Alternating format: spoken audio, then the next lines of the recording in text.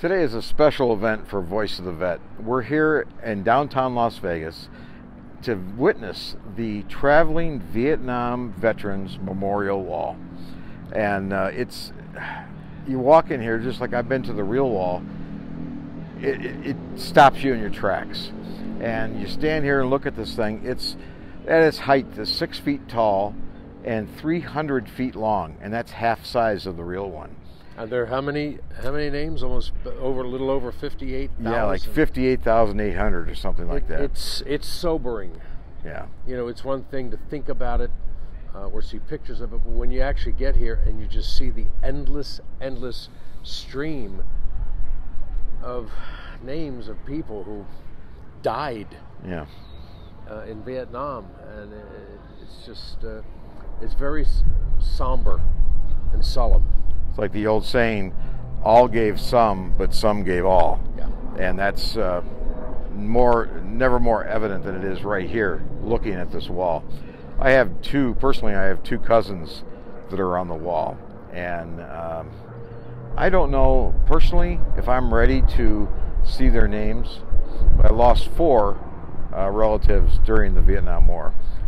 Personally, I missed it by five days. They rescinded our orders to go over there at the end of it all and bring back whatever we were supposed to bring back. But, um, you know, I don't know how I even feel about that, to be honest with you.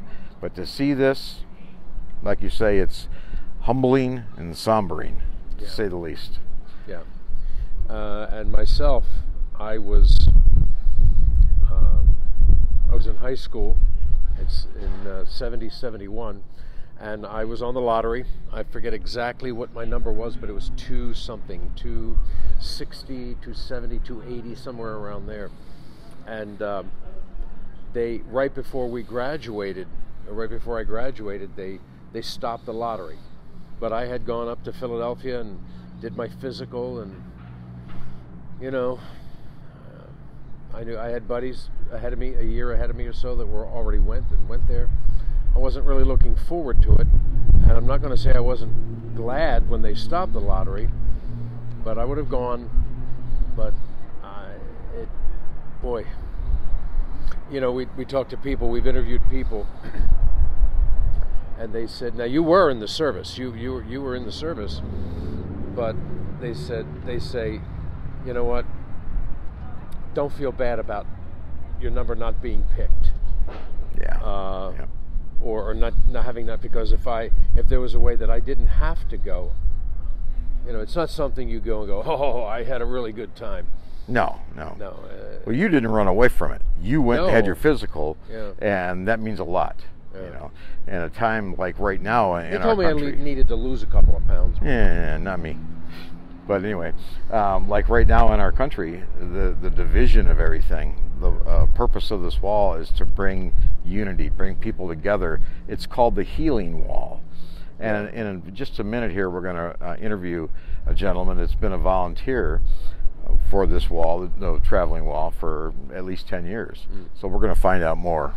And I think what what's, what separates this from the other wars is that today veterans are so honored and respected and thanked, and people buy them, you know, lunches in the airport and things like, and that's wonderful, and that's how it should be.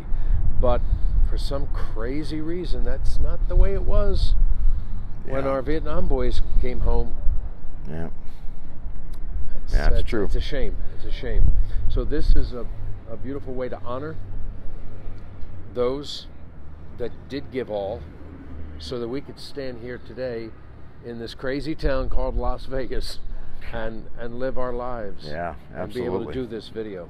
Yes. So we'll uh, we'll pan around here in a moment so that you can see the the length of this wall. It just mm, Yeah. it's, staggering. It yeah, just it's amazing. ugh. Anyway, We'll be back in a minute with one of the volunteers. His name is Dennis, and we'll hear more. Okay, now we're standing with Dennis. Dennis, what's your last name? Uh, My last name is Blessman. B L E S S M A N. Bless man. Is that not great or what? All right, and you've been with this wall or volunteering for what? How long? About 10 years now. Yeah, I, there are other walls that travel the country besides this one. Uh, this is my favorite one to volunteer at. Yeah, sure. Now, Dennis, as you can see by his shirt here, was in the Air Force. So finally, I get to actually have an interview with an Air Force guy. We got Marines and Army and everybody else, which is awesome, absolutely. But Dennis, thank you for taking the time Oh, to, to talk with us You're today. welcome. Now, uh, tell us some of the history of this particular traveling memorial. Well, th- this is the original traveling wall. Oh wow! In 1982, when the wall was dedicated in Washington, D.C., John Devitt and a couple of his other combat Army veterans uh, were looking at the wall back there and they said, hey, this is wonderful, but what about the rest of the country? Sure. What about other people who are not going to be able to, to get to D.C. to see the wall? So John borrowed the ar- artwork from, uh, from the wall and had it uh, scaled down to half, and this is the result of that. 300 feet long is half. Right. That's amazing. Yeah, and it's and it's half the size. It's half the size, but all the nomenclature and names are here. wow. Everything is here. Wow. Now I see how there's dots um, dividing like groups of names. Yeah, yeah, that's correct. Now, since the names are on the wall chronological by their casualty date, the only way to find a name is to look it up in, in our alphabetical directory. Okay. And then you're, you're given the panel number, which is down at the bottom, Okay. and the line number. And in between the big white dots, there's 20 lines that help you count. Oh, okay. All right, nice. Along with that, each name has a little designation by it. There's either a diamond shape or a plus sign. The diamond shape is a confirmed death. The plus signs are the missing.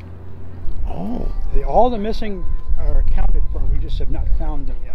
Oh, wow. See, I did not know that. That's that's good news to, to know for uh, for all of us. Now, so they do what they call a change of status up the wall in Washington, D.C. Uh, usually once a year. If there's been remains recovered, they can be identified. Then they change the plus sign to the diamond. Okay. All right. It's good that, that we can update that like That's that for all of us correct, to know. Excellent. Now, you were in the Air Force, which I'm glad to hear. um, when were you in the Air Force? I enlisted in the Air Force in August of 1965. Okay. Uh, went to boot camp in uh, Lackland, Texas, where everybody went. Yep. And then I got assigned to uh, Aircraft Weapons School in uh, Denver, Colorado, Lowry Air Base. I went to Mather Air Force Base, uh, work on B-52s, loading nuclear weapons. And then uh, I volunteered to go to Vietnam and uh, arrived in Vietnam in January of 67 Okay. and I was an aircraft uh, load uh, crew guy and, and load crew chief uh, on F-100s while I was there. Nice. How long were you over there? One year. One year. Yeah. And the one tour, one Yes, year. Yeah. Okay. January 67 to January 68 Okay. Now, how long were you in the service? uh, until 1969. Four, Okay. I just did four years. Okay. Yeah, like so many of us, I, we did. Yeah. Um, you've answered a lot of questions for us already in this short period of time. Dennis, thank you Yeah, so much. you Is there anything you want to add to? Well, uh, there is one, one oh, quick thing. here we go. yeah, there, right now, there's 58,318 names on the wall in Washington, D.C., and on this wall. Okay. Now they do add names to the wall. Now these are guys who were wounded during their tour of duty in Vietnam and are just now passing away. All right. It's very specific. Those wounds have to cause their death now. I see. Okay. And when they add their names to the wall, since the wall only goes to 1975, All right. they go back in these guys' records, find out when their original casualty date was, and that's where they put their names. Oh, they add them to that Yes. that section. That that panel was. Wow. Yeah. That's a lot of work, isn't it? Yeah, it, and, And it's worth it, though. yeah, yeah, Yeah. It's, it's not too bad back there because there's quite a bit of space. Okay. between the names. Here they have a silk screen. They can add the name to the silk. Oh, nice. Okay. Wow. That's So, that's yeah, great they've to added know. about 370 some names since 1980. No kidding. Wow. But that that uh, is kind of on a downward slide. Okay. now. Sure. Now. And Yeah. we're- Absolutely. We're, all getting a little older. Yeah. Some of us are feeling it every morning when we get out of bed. correct. Yeah. Absolutely. But it, it's been it's been an honor, and a privilege for me to be able to come and, and volunteer at these things. It's been a healing experience for me. I travel with another Vietnam veteran who was a, a combat medic in Vietnam, so Okay. his story and my story are quite a bit different, and uh, we just enjoy doing this. Well, Dennis, again, thank you for your story. Oh, it's an honor and privilege to talk to you. Well, thank you and thank much. you for your service. and, and continued good luck. thank you so much.